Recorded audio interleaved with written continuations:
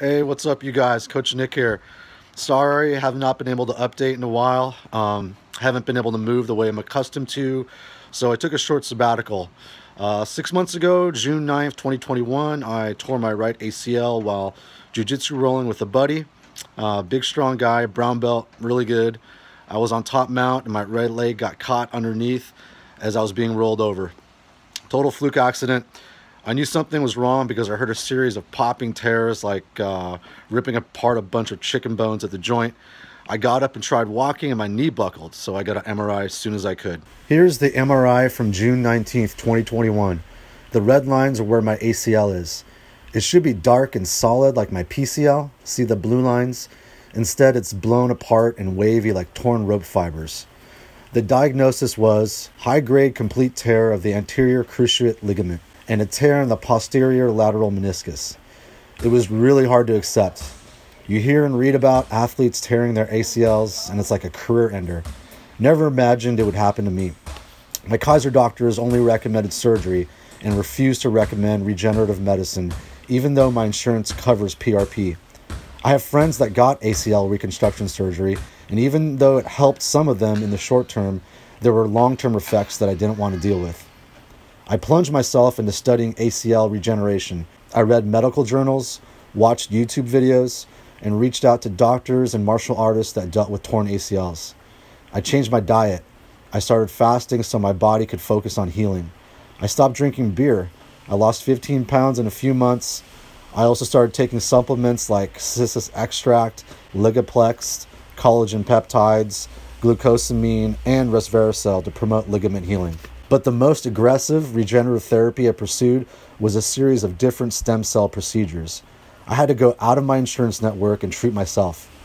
Three weeks after the ACL tear, I had 1 million mesenchymal stem cells, or MSCs, from cryofrozen Wharton's jelly injected into my right knee at Golden State Medical in San Ramon. Four weeks later, I had platelet rich plasma, or PRP, from my own blood platelets, injected into the same knee.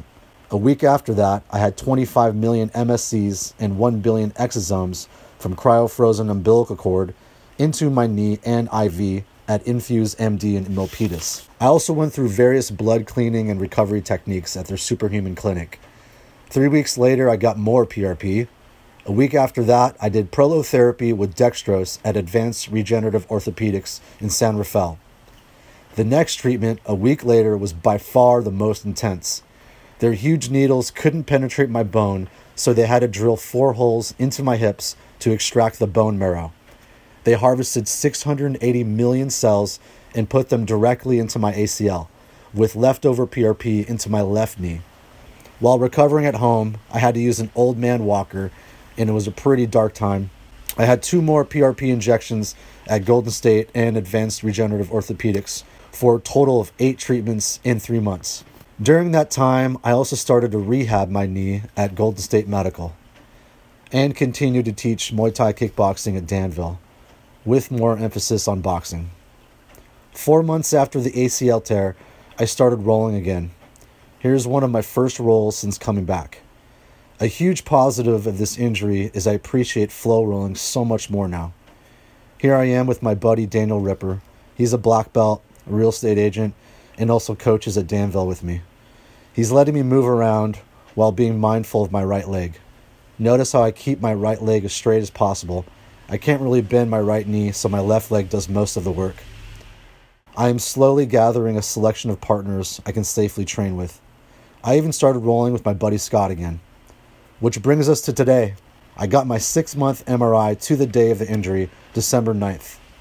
Results are the previously noted tear of the lateral meniscus is not seen on this study, which may be related to interval healing. The ACL demonstrates intact fibers, suggesting partial tear improved from the prior study. So here are the two MRIs side by side, six months apart, from a high grade complete tear to an improved partial tear. I'm really happy to see progress. This has been a learning lesson. My knee is still not 100% better, but it's only been six months. I have to keep taking care of it and look forward to the one year MRI in June 2022. If you ever have a severe knee injury or torn ACL, I hope this video helps you. Thanks for watching and be safe.